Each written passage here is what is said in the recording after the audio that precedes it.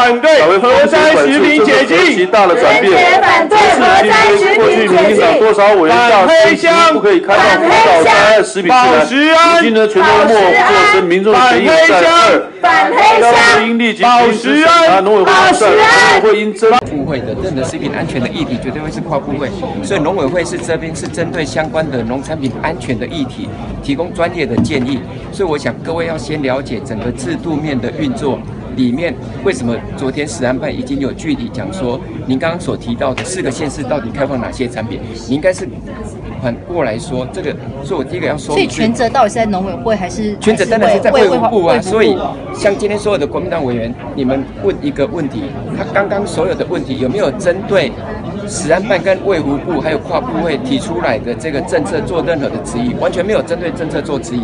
第二个，如果要针对政策说明，像你刚刚问说四个县市里面到底开放了什么，你应该反过来问说我们限制了什么？我们这次有针对十四县里面的所有日本不能上市的，我们全部不能让它进来。例如哪一些呢？哦，像比如说我们的青森县的熊肉，它就不能进来。我们有所有的清单，如果各位的话，我们放在网站里面有把十四个县里面的所有产品不能进来。觉得现在全国民众里面，我觉得应该要关心的是，到底它的政策内涵是什么？结果现在所有我比较可惜的是，完全没有人去讨论，那你到底政策我们管制了什么？我们限制了什么？我们调整了什么？那变成是大家只针对所谓的股灾这个食品的这种名词，或是合色、无色的食品名词在这边争议，那完全失焦了。所以我们会依照我们跨部位，我还再次强调，我是不是用农委会副主，我是用食安办的汇报的副执行长。那我们会重新的会跟所有的公民对话，我们会把政策的内容讲得很清楚。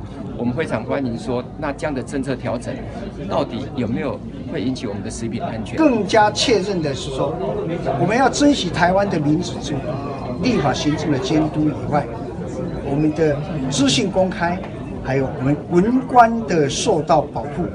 所以，任何一个公听会，大家都要很珍惜，让公听会很完整的把它开完。我们还没有还没有做决定，我们要以我们能够把关的部分行。政院那边已经有说，好，那那是十安办的事情，十安办，十安办。